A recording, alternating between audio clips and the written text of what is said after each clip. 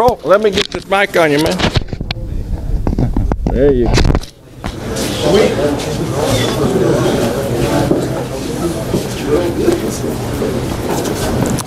Uh, I, I kind of have developed some exercises to hopefully enhance my sensitivity and timing and balance breaking. Uh, I call it TikTok and I call it walk walk. Uh, you probably have under the name of tension and release or pressure and release. So it's kind of, if you think in terms of tension and pressure and releasing it. And so if I get my partner here and I assume this position, we kind of equal on, you know, one side, to me, this is my dominant side. This is my top hand. So with this one, I can load weight into the person. And, or I can, I can adjust, I can do something to him, and I'm going to get a result out of this. I'm going to get something, some result out of this guy right here.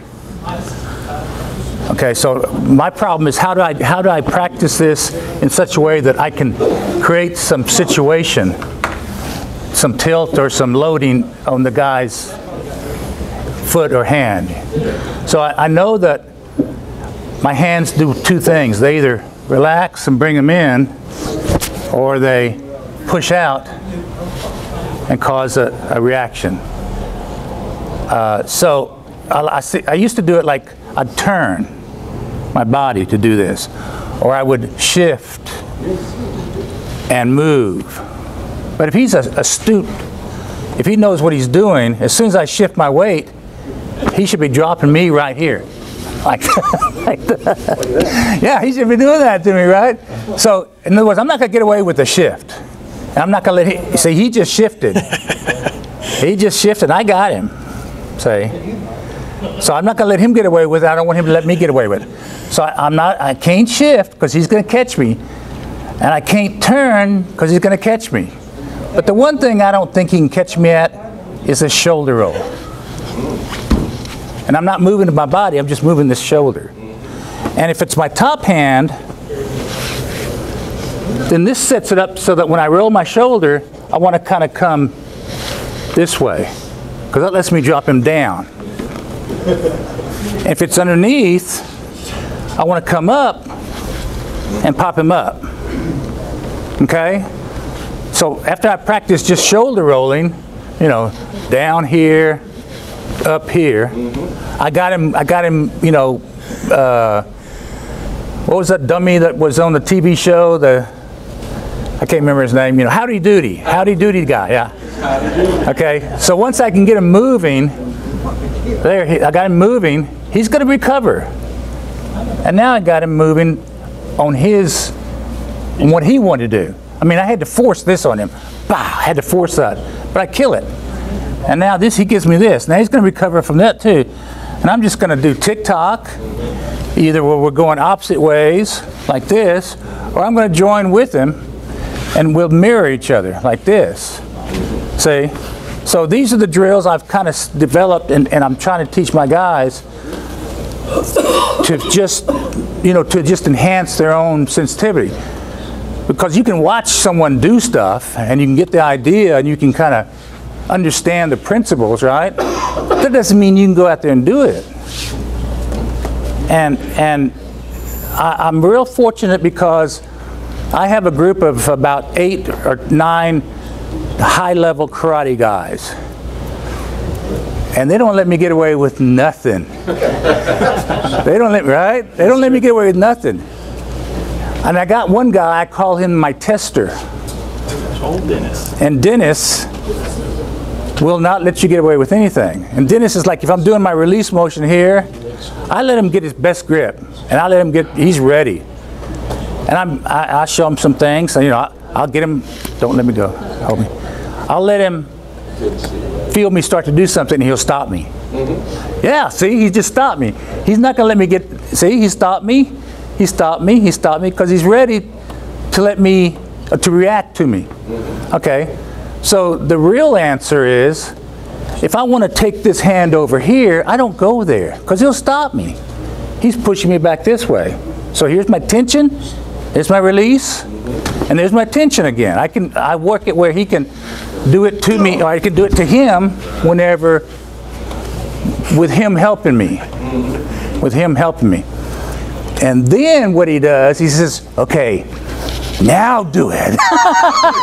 you know, because now he's, I'm just showing him how I can, yeah, he, I need the, uh, okay, okay. So the real answer is, I don't really have to do the same thing that you're ready to stop me. That's, you know, I don't really have to do that. That's stupid. That's stupid. But I said, so I'll, sh- I'll show him the real answer is if, if you know I'm going to go this way and you block it, then I'm not going to go that I'm going to go the other way.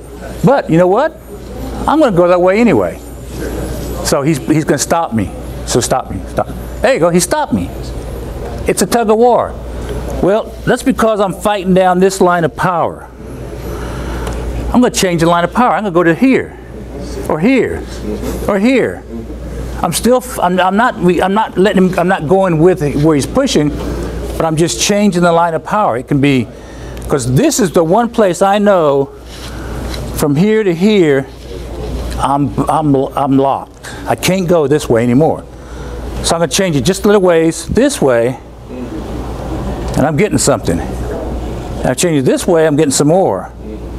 Change it this way, I getting some more.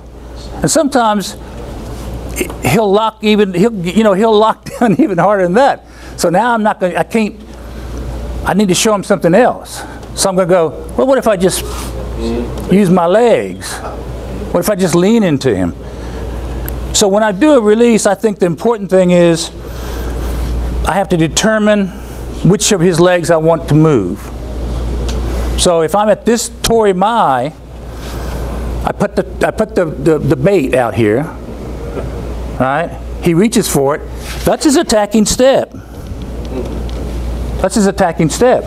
So I'm going to capitalize on that if I can, so I can get out here and float around and hit that next step right there if I if I need to.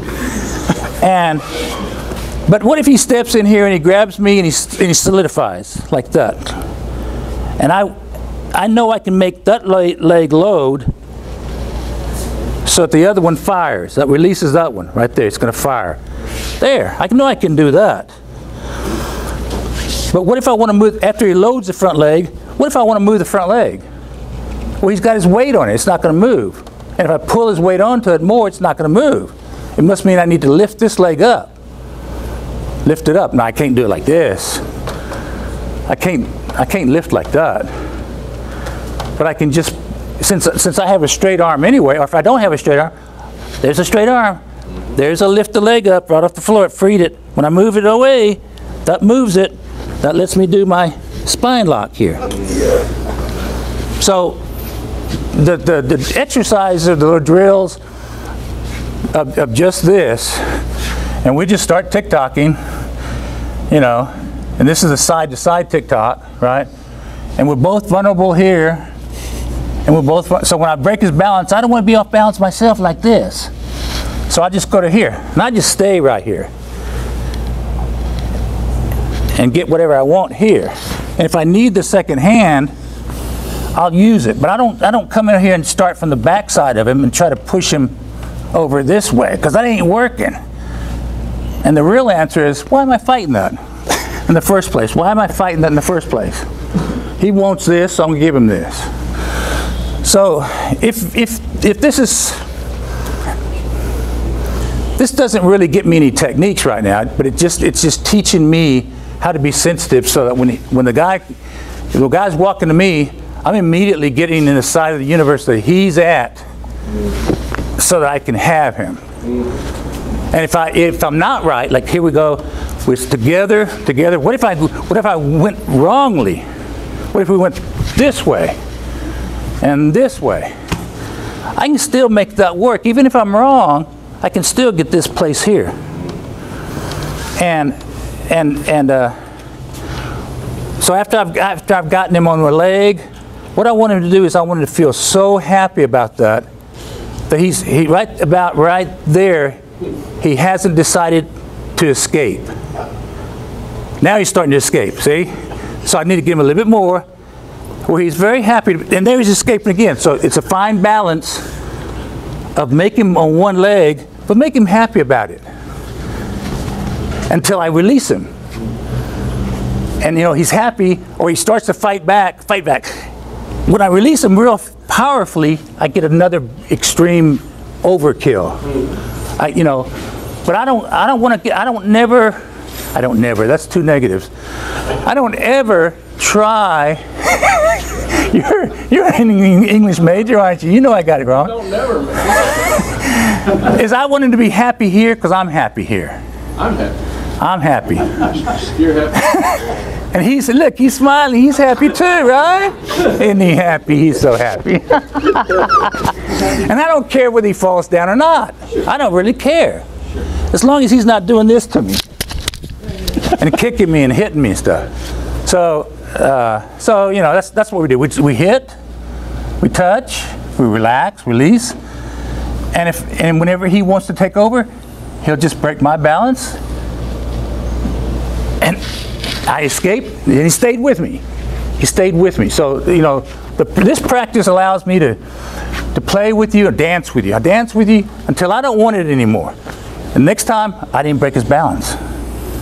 That's his clue to take over and lead the dance. So I, I let him have his, his little catches, and I, I, I try to feel it and say, okay, see, he didn't have me there. And I'm going to tell him that, not because I'm mean and cruel, but because he needs to know that he didn't have, that I know he didn't have me. And he knows that. See, he didn't have that one right there.